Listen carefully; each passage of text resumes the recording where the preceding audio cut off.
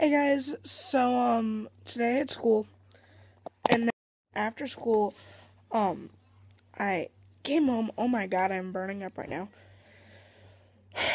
um came home, relaxed. I go over to Victoria's house tomorrow.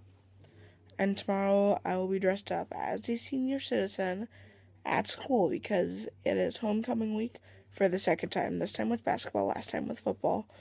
And um Today was Tacky Tourist Tuesday. Tomorrow is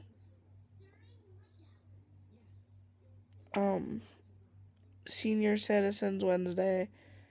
Thursday is School Spirit. Friday is Class Colors. And Monday was Pajama Day on Interest. So, yeah. Anyway, um I guess I will just talk to you guys later. See ya.